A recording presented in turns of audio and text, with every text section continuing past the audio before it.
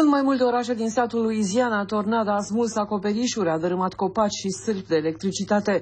Orășelul Slidell este cel mai afectat. Au fost distruse parțial zeci de locuințe, iar oamenii au rămas blocați în casele peste care s-au prăvălit arbori sau diverse obiecte purtate de vântul puternic. Our personnel are very, very, very busy, and we're trying to make it to everybody. Um, please be patient with us. We're coming.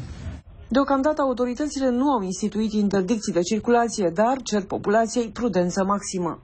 I do advise motorists if, if don't go out tonight, it's going to be just like Katrina was uh, on the south side of town. It's dark. There's no street lights. There's no stop lights. În Texas, viteza vântului a depășit 90 de km pe oră. Rafalele au distrus magazine, restaurante și locuințe. Pagubele ar fi putut fi mult mai mari, dar spre deosebire de Louisiana și Mississippi, în Texas tornada a durat foarte puțin. We're going to be closed for a little bit. We don't know how long just yet, but um, we hope not too long. Um, so while they have, we work on those repairs right now, we don't have any power. Um, so we'll, we'll have to wait. În New Orleans a plouat torențial ore întregi, șoselele au fost inundate, iar echipele de salvare au acționat non-stop pentru a-i salva pe șoferii surprinși pe drum.